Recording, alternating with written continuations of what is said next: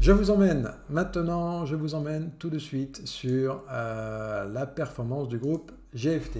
Il est pratiquement 14h, on est dans les temps. Donc pour ceux qui nous rejoignent et qui ne connaissent pas le, groupe GFT, groupe GFT c'est quoi? C'est 20 traders. 20 traders, euh, donc on a un Discord en commun euh, qui dispose d'un système de trading, de scalping commun sur les indices américains essentiellement, avec des règles de money management, des règles de gestion de trade et des règles euh, liées euh, au contexte marché et à la journée jour, jour par jour, si je puis dire. Voilà, donc ça c'est pour la, la, presse du groupe GFT et je vous emmène sur la performance d'hier. Alors, où est-ce qu'elle est? Elle est ici, tac.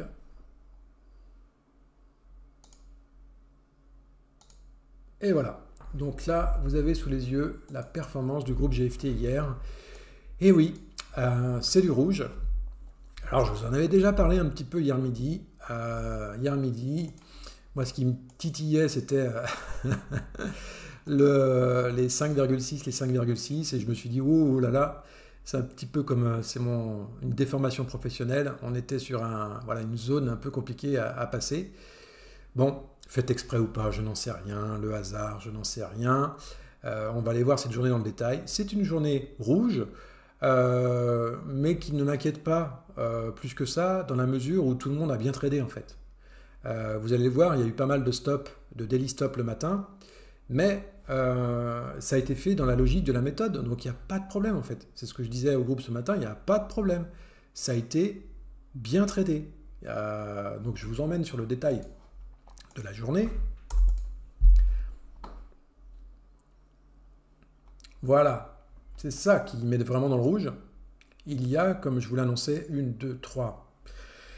Il y a six traders qui ont fait un daily loss euh, sur le même trade en fait. Hein. C'est un peu le problème euh, du groupe, c'est qu'on n'a qu'un seul actif. Euh, et, voilà, donc il y a eu vraiment six gros daily loss qui mettent la performance du groupe en délicatesse. Et hum, tout l'après-midi, ici, ça c'est des trades de l'après-midi essentiellement, malgré des beaux daily, des beaux daily wins, 197, 180, 152, 115, tout ça, c'est des scores vraiment honorables, hein, 90, tout ça.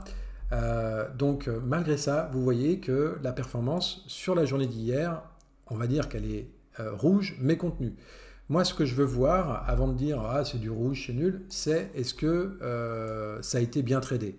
Et la réponse est oui, ça a été très bien tradé. Euh, tous les trades que j'ai vus euh, en screenshot, tous ceux qui ont été euh, insérés dans le Discord, ça a été bien amené. Donc il n'y a pas de problème avec ça. Il n'y a pas de problème avec ça. et même je dirais que la, perte est, assez contenue. Donc aujourd'hui, pour moi, va être décisive. Cette journée va être décisive. puisque si je descends un petit peu, vous voyez qu'avec la journée d'hier, en tout cas pour la performance globale attendu à la fin du mois de juin, dans une semaine et demie, vous voyez que l'écart entre la ligne rouge, qui est la ligne attendue en termes de perf à l'instant où on se parle, on devrait être à 2% du capital, ok, de gain. En ce moment, euh, donc hier on était à 1,44 et là avec la perte d'hier on est à 1,25 du capital sous gestion du groupe.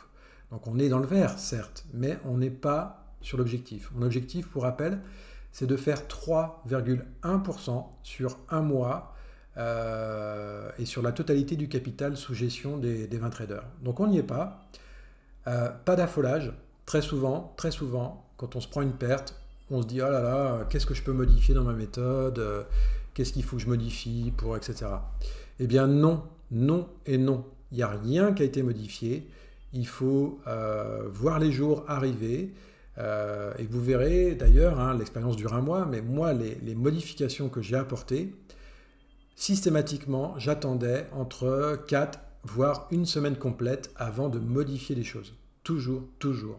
Ne pas euh, modifier euh, votre méthode en fonction de, la couleur de votre PNL, c'est l'un des problèmes. C'est le problème numéro un de beaucoup de traders. ok? Donc ce soir, on va voir comment ça se passe euh, par rapport à ça. Il est vrai, toutefois, que j'ai commencé à, a, amené l'idée euh, au groupe que la semaine prochaine, on pourrait euh, accélérer le tempo avec la même stratégie, mais on pourrait accélérer le tempo Le matin, on a une certaine unité, une unité de temps du matin, et l'après-midi, on a une autre unité de temps l'après-midi. Eh bien, pour se générer plus d'opportunités le matin et l'après-midi, oui, peut-être que la semaine prochaine, on va accélérer le tempo. Par contre, il faudra être vigilant sur la TR, la TR qui mesure la volatilité. Il faudra une volatilité suffisante pour pouvoir trader. Et de ce fait, on aura aussi un levier un peu plus important que d'habitude, parce qu'on va être sur des unités de temps plus courtes. Le trade, le trade devrait durer, un petit instant. Le trade devrait durer, euh, ben, suivant l'unité de temps, moins de temps, puisqu'on va être plus rapide. Euh, donc l'effet, l'effet de ça, c'est que oui, on va se générer plus d'opportunités avec la même méthode. Par contre, l'erreur pour moi de lancer le groupe ou lancer des personnes euh, sur une unité de temps plus rapide, l'erreur serait de lancer des traders qui ne sont pas capables d'assurer d'un point de vue technique et d'autre part de lancer des traders sur ce sujet-là qui ne sont pas capables de respecter leur daily stop.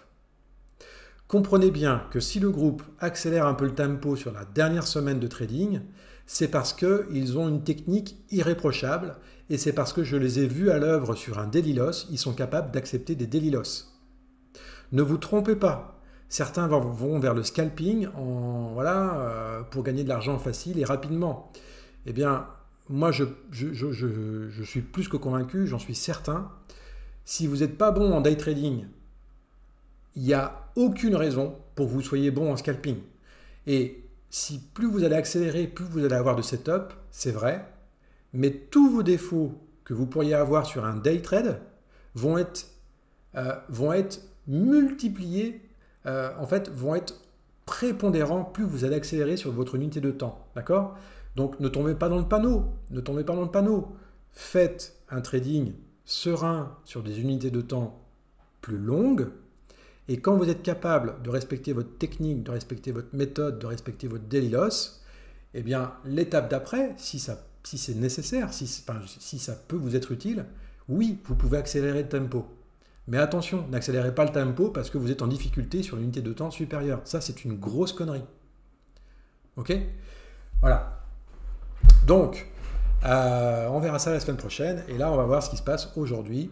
Euh, aujourd'hui, au sein du groupe GFT. On n'est pas en avance, mais quand on raisonne sur les autres indicateurs, un autre indicateur pour moi, c'était d'avoir plus, euh, plus d'un trader sur deux qui ont une PNL positive à la fin du mois. Pour ceux qui traitent déjà, vous savez à quel point il est difficile, compliqué euh, ne serait-ce que de finir un tout petit peu vert à la fin du mois. Vous le savez ça. Et aujourd'hui, avec euh, cette frénésie de prendre des comptes euh, propres firmes et de vouloir dégainer et obtenir son compte le plus rapidement possible et générer... pour moi, ça, ça vous met le cerveau à l'envers et ça vous empêche, avec le temps, de, de, finir au moins un mois dans le vert, en fait. De prendre le temps de se dire, bah ouais, j'ai fait 200 balles ce mois, mais c'est 200 balles, quoi. Alors que vous êtes tout le temps omnibilé par, faut que je fasse 1005, faut que je fasse 2005, et compte sur compte, et en fait, voilà, moi je, crois que ça, ça, ça, met beaucoup de gens dans le faux. Euh, l'utilisation des propres firmes a beaucoup d'avantages, mais ça a aussi euh, des effets pervers. Et croyez-moi que les propres firmes savent très bien utiliser euh, cet effet-là, avec tout un tas de promotions, tout un tas de choses, euh, notamment chez Lidou, j'ai vu des choses, mais avec des bundles, mais franchement, c'est des... Ben, bref, me... les bundles, c'est un truc que j'ai jamais fait, c'est comme les comptes express. Alors là, j'en ai fait quelques-uns, des comptes express des comptes express au démarrage. Mais c'est pareil, les comptes express, c'est quoi? Ils jouent sur l'espace-temps, en fait. Ils veulent euh, vous mettre une pression sur le temps et ils veulent vous faire trader avec un levier disproportionné en fait. Mais c'est du business, c'est du marketing, on va pas revenir là-dessus.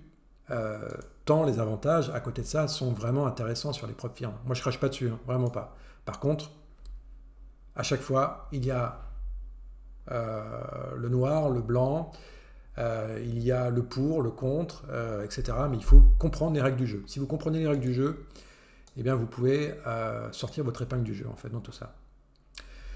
Le deuxième indicateur que je suivais et que je suis, c'est d'avoir des traders qui ont à la fin du mois une PNL supérieure à 5%. Donc le trader 10 est pas loin déjà au bout de deux semaines et trois jours il est à 4,73. Il est pratiquement aux 5% d'objectifs individuels. ok?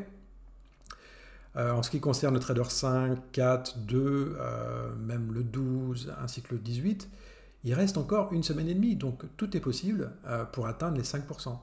Et je vous le rappelle, euh, on est sur des comptes à 25K. Ça fait 1250, 5%. C'est-à-dire que vous validez presque votre compte dans le mois. Ah oui, ça aussi, c'est peut-être un peu tabou chez certains. Ah, valider un compte en deux mois. Bah oui, mais c'est pourtant pourtant comme ça qu'il faut faire. Si vous n'avez pas à valider votre compte au bout d'un mois, c'est pas grave. Surtout avec les promotions, vous pouvez parfaitement repartir sur un mois avec un compteur qui continue de, de courir. Vous repartez avec 1250, il vous reste 250 sur le mois à réaliser. Ok? Allez, bon, bah, écoutez, la, perf, on va voir ça demain. Euh, on va voir demain comment ça se, comment ça se goupille. Euh, moi, je trouve que l'équipe tient le choc. On a eu deux jours un peu, un peu, un peu compliqués dans le sens où euh, le vendredi dernier, on n'a pas tradé l'après-midi. puis en plus, il y avait la journée des quatre sorcières. Et puis lundi, ça a été une journée morte. quelques trades le matin, mais l'après-midi, c'était mort de chez mort. Donc c'est vrai qu'avec une journée fériée, plus euh, une journée où on a coupé, ça nous enlève quand même deux jours de trading plein euh, dans l'expérience. Mais parfois, le fait de ne pas trader, ça peut aussi aider à performer par la suite. Donc, on verra bien. D'accord Allez, 14h10. Euh, bon après-midi à vous. Faites attention à 16h, il y a des news, enfin il y a le discours de Powell. Je vous dis à demain. Ciao, bye et portez-vous bien. Ciao, ciao.